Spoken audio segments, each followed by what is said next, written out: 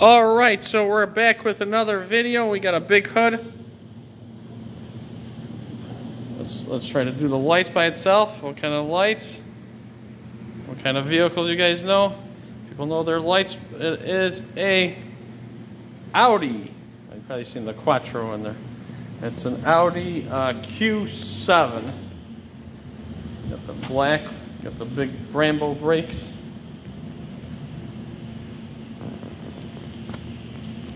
Quattro. I like this vehicle. Interior is nice, but that little screen that pops up from there, I don't care for too much. I could have one bigger.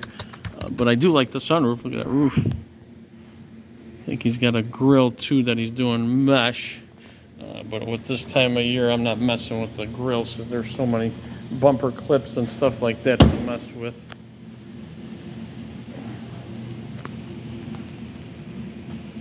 Audi, that's the Quattro. This customer bought a couple of sets of wheels from me, the Q7s.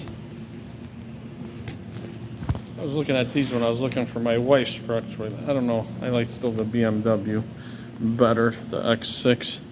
It's got a kind of sleek design on there. And what we are going with, we going with the, bam, we got some replica Q7 uh, wheels here. These are 22s uh, with a 285 35 22. It's the black with the machine. Got the original Audi logos. All right. So what do you guys think? Let's put them on there, paint the calipers, and check it out and go from there. So stay tuned. All right, so we're back with the Audi Q7, the Quattro, and bam! Look at those. The replica, the black with the machine face. Look at the concave on this wheel too.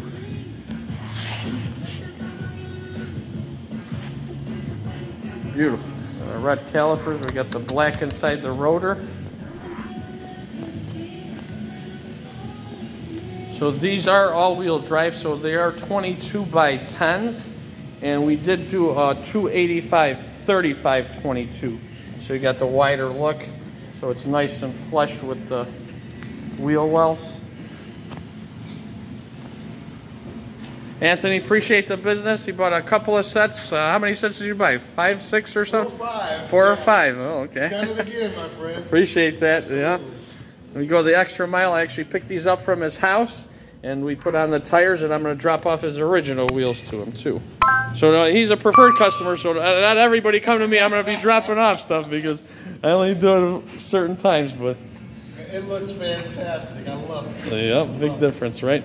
How the red calipers. You don't want to paint it, right? I think the red sticks out, right? Absolutely. I'm glad you went with you talked me into the red and I love it. These Audis always because how, how big it is to how how good it looks on there with the red. We even took off the where the uh, where you bleed the brakes and we put the caps back on there. Beautiful. Beautiful. What do you guys It think? gives the car a whole different look. Oh yeah.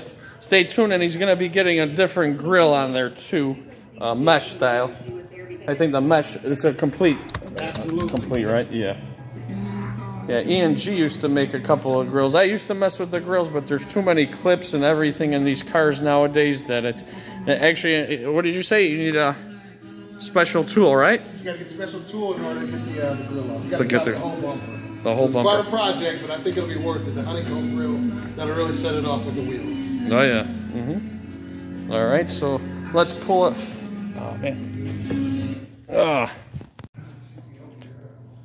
All right, so we're back with the Audi Q7,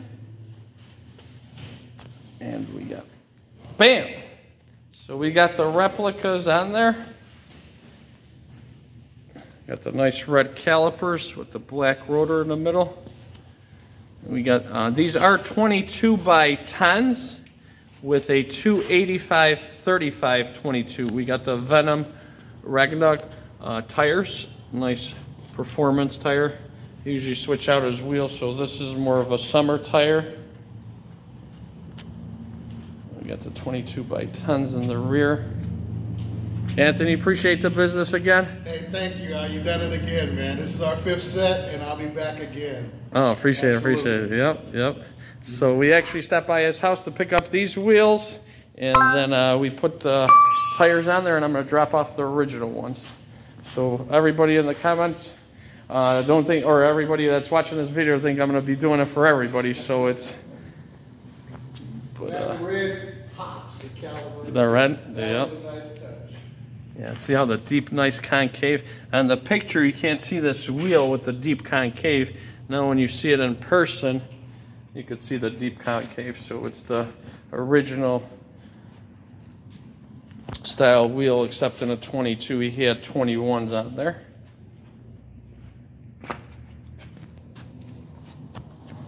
Yep, so he's got a grill also he's going to be doing, right? You want to... Yep, I'm gonna do the honeycomb grill. It's gonna uh, be put on next week. Uh, we had to wait for a special tool. It's quite a project. You have to drop the whole bumper, but it's gonna give the truck a really nice look with these wheels. There you go. Yep, the honeycomb full full uh, hole replacement on there.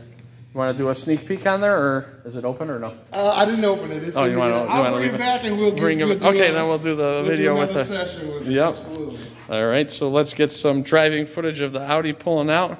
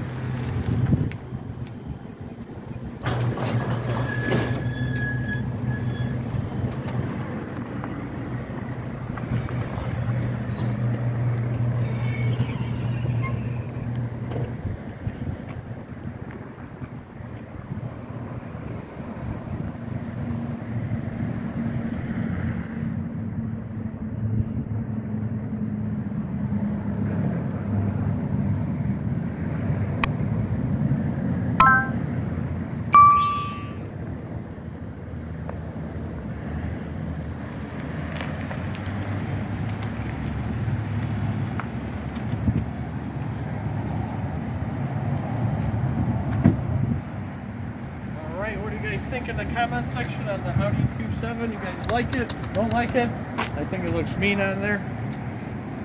Very nice. You're right. It sparkles when it's spinning. When it's spin it? Yeah. Those customs all over. Yeah, thank you. Appreciate it, Anthony. Appreciate you. All right, so stay tuned for more builds. All right, so we're back with another video. In today's agenda, we have Big Hood, a Cadillac. What kind of Cadillac? Cadillac Escalade. And we got, bam, we got the Du Bois wheels. Uh, we did these a couple years ago. Um, it's black with the machine with the red ring around there. Um, he is just getting tires. Uh, the two 85 45 22 Lexani 30s. Look how clean this truck is. I think it's like an 04 or 05. Got the nice red stripe. I think we also did his LED tail lights here. So he is going with uh, new tires on here, and uh, we are going to touch up his calipers. And then uh, I guess he changed his rotors, so it's been a couple years. I think he probably sold these about 10 years ago, maybe even more. The Du Bois wheels. Uh, actually, funny story on these. Uh, Prestige made these wheels for um, actually the owner of Rucci, and he uh, made a name brand for Du Bois on there. So small story on there. So let's put the tires on there, clean them up, and paint the calipers and see how it looks. All right, so stay tuned. All right, so we're back with the Cadillac Escalade, and bam! So we got the, the boy wheels, got the brand new tires on there, 285 45 22. Uh, he decided to go with the same tires. He liked the thread design. It is kind of that aggressive, directional, more performance tire. When I was actually taking off, this is the first that ever happened. The hub ring that's in between actually just cracked off completely. so I guess it was just brittle and just from old. Like I said, I think he got these wheels about eight or 10 years ago, maybe not even more. So we touched up his caliper on there. We actually even touched up his wheels. Uh, he had a couple of uh, scratches on the black. So we touched it up for him. Usually if the customer buys them from us, we usually do that deal for them. No charge on the touch-up if they scrape the wheel to a certain extent. we got them on there. We'll get some driving footage of the customer. It's Saturday, I'm here by myself. So let's see how it goes. What do you guys think of the Du Bois 22 inch on the Escalade? Look here. This thing's pretty clean for the year. All right. What up everyone? We're back with another video.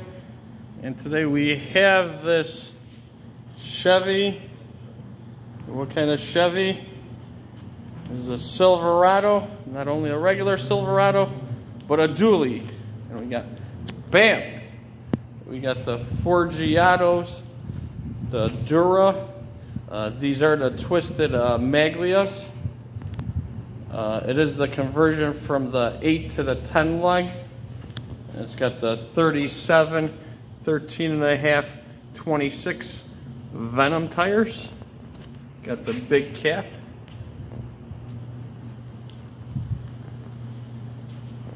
Got the big dually wheels here. Look at that side of that lip. These are brush gold uh, with the black. Got the big cap on there. This is the XT tire, so you hear a little bit of noise, but not as loud as the other one. What do you guys think in the comments section? This big dually with 26s. These are 26 by 8 and a quarters all the way around.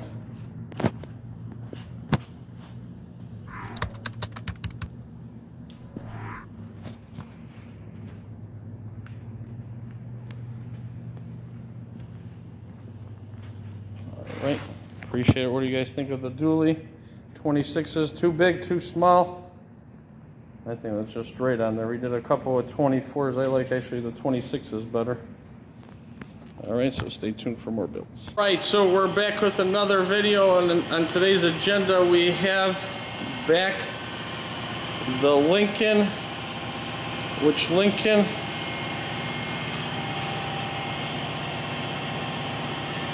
we have the navigator. And we do have it back with the uh, the Ruccis. So we got a new camera too. So uh, so on these Ruccis, um, they actually cut the wheels wrong. And um, there's the hub stuck out in the back. So um, we put a regular spacer inside there. So we now have to do a hub-centric spacer because the customer is having uh, issues with uh, vibration. So uh, I'm going to show you how the spacer works. Um, actually, we'll take one off.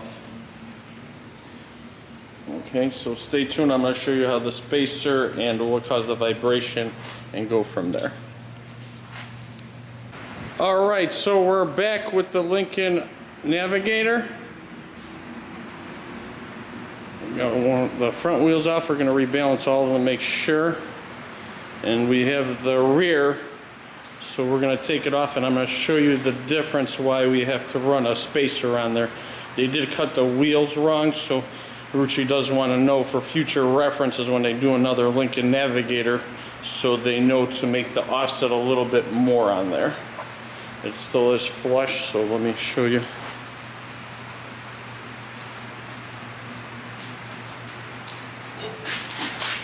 So um, I didn't have a hub-centric spacer when we got the the wheels, so I had to use one of our regular spacers. So basically what happened, this hub is too far out here. So that's why we needed to put the spacer because the cap wouldn't uh, uh, be flush on there.